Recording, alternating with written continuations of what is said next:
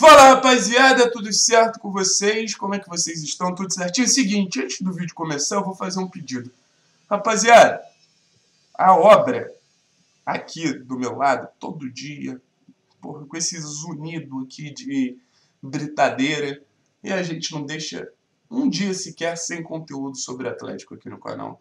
Então, pô, dá uma moral, se inscreve aqui, a gente está na luta para os 10 mil inscritos, deixa like, comenta no vídeo, participa, divulga para os amigos, manda no grupo de WhatsApp lá que fala sobre Atlético, porque eu vou levantar um ponto, um vídeo muito maneiro, que eu vou falar o seguinte, o Atlético está no momento chave sobre o seu futuro, assim, está num momento muito importante, porque o Atlético está numa reta final de Campeonato Brasileiro onde pode se classificar para a Libertadores e se classificando para a Libertadores ou até mesmo permanecendo na Sul-Americana, você tem ali temporadas completamente diferentes. E a gente entende aqui, a gente vai desenvolver isso, mas a gente entende aqui que agora, se o Atlético ganhar jogando feio de Grêmio de esporte, caguei, assim.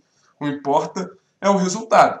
Mas a gente daqui a nove dias tem um campeonato paranaense, onde a gente tem uma geração de ouro sendo promovida ali do sub-20, vários jogadores muito importantes né, voltando de empréstimo, como o Pedrinho, como o Denner, como o Iago, e tem jogadores que estavam no profissional também, que vão frequentar o time sub-20, é, sub-23 ali, que precisam dessa chance para despontar, para ter seu futebol mais visto, mais observado. Então, de um lado, a necessidade de um resultado sem ligar para um desempenho, e de um outro lado, vários jogadores que precisam mostrar desempenho. Então a pergunta que eu faço é a seguinte: até onde, até quando vale o jogar bonito? Porque é uma discussão que a gente vem tendo ao longo de toda a temporada. Porque durante vários momentos o Atlético não jogou bonito e foi competitivo. Em alguns momentos o Atlético tinha ideias mais condizentes com o futebol moderno, com o Guardiola, com o jogo de posição, troca de lateral virando meio campista e tudo mais. E não foi competitivo. Na real, foi muito pouco. Assim, perdeu jogos em sequência e tudo mais. Aí é o que eu pergunto para vocês. Até onde vale jogar bonito? Até quando vale jogar bonito, sabe? Porque o jogar bonito, a gente precisa. Vou até me ajeitar aqui. A gente precisa concordar que é relativo. O bonito é relativo, tanto na vida quanto no futebol. O que é bonito? Não existe uma definição exata do bonito e do feio, sabe? Existem vários times que foram taxados de times chatos ou de times feios, que, porra, vai falar que não era um futebol bonito da seleção de 94, por exemplo?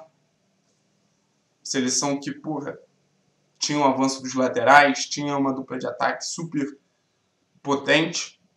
E o time de 82 jogava bem? Jogava bem. Ganhava seus jogos? Ganhou a maioria durante esse processo de Copa do Mundo.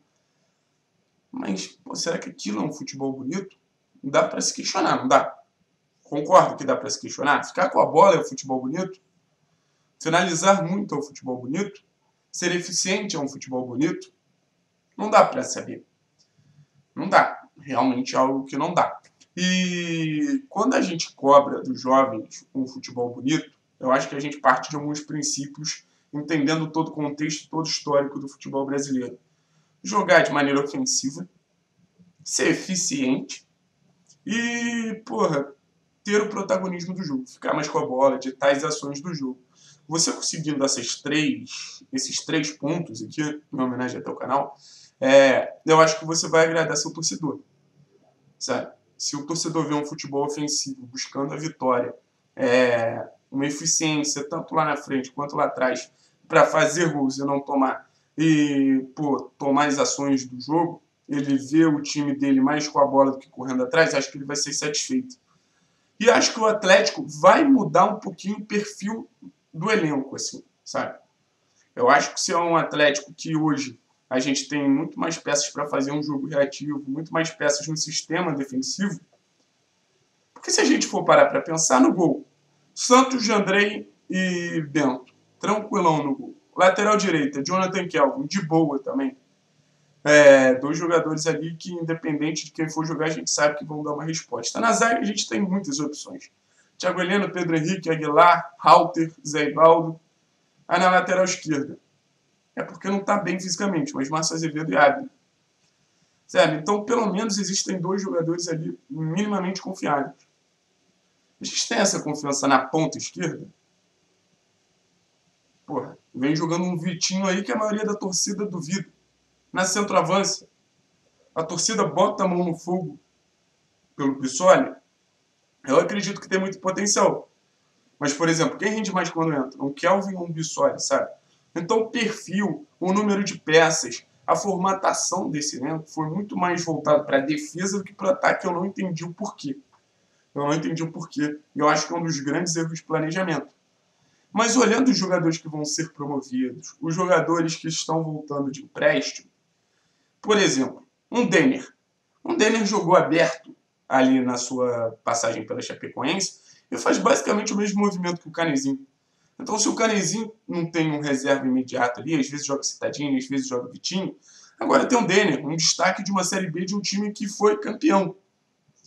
Um Nicão, quem substitui o Nicão? O Jadson. Agora tem o Jajá, que vem jogando por dentro como um playmaker. Pode ter um Pedrinho, que a gente entende que é a melhor posição. Na centroavância mesmo, um Lingote ali pode ser um cara muito interessante. Na outra ponta, o Carlos Eduardo sai, entra quem? Entra um Reinaldo. Mas são perfis diferentes. Agora a gente vai ter o Iago César.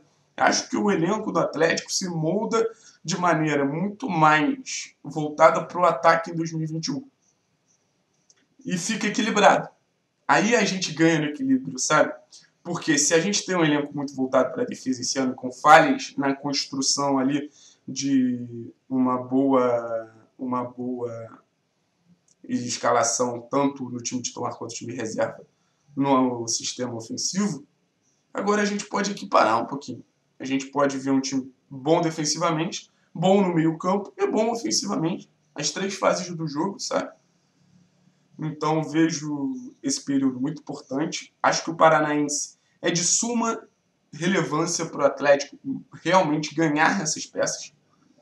Porque se o Pedrinho fizer um Paranaense bosta e não tiver uma transição boa para o time principal, não importa. O Denner é a mesma coisa. É, vários jogadores que vêm da base é a mesma coisa. O Jorge é a mesma coisa. O Mingote é a mesma coisa. O Julimar é a mesma coisa, sabe? Então o Paranaense é realmente para afirmar esses caras e aumentar o número de peças ofensivas, aumentar o leque de opções quando o Atlético busca atacar. Sabe? Porque eu acho que em vários momentos da temporada o Atlético não sabia atacar. É muito doido isso. A gente entrar na questão do saber e do não saber. Mas é por aí mesmo. Jogos contra Curitiba e Bahia, que eu acho que são mais recentes. O pessoal falava, ah, mas o time não tem vontade. Não, gente. O time não sabe, o time não tem capacidade. Não é vontade, é capacidade. Porque o elenco foi montado com várias brechas. O elenco do Atlético tem várias brechas. É um queijinho suíço, cheio de buraquinho. Essa temporada a gente vai tentar preencher esses buracos. Então entendo, entendo. Até o jogo contra o esporte, não, 1x0, tomando bola na trave, Santos sendo o melhor do jogo, faz todo sentido para mim. Depois do jogo contra o esporte, aí sim existe uma cobrança. O Antônio Oliveira vai precisar dar uma resposta, esses jogadores vão precisar dar uma resposta. Relembrando aqueles três pontos: finalizar mais com o adversário, tomar as ações do jogo, ficar mais com a bola, ser um time ativo, não um time reativo, e protagonismo e tudo mais e ser eficiente. Sabe? Fazendo isso, o Atlético vai agradar sua torcida e provavelmente vai desenvolver os atletas que ele pretende desenvolver, tanto para usufruir quanto para vender também, que a gente sabe que o Atlético precisa vender, né? Então é isso, rapaziada. É seguinte, deixa um like aí, fortaleça aqui o trabalho. Tamo junto, nós, viu?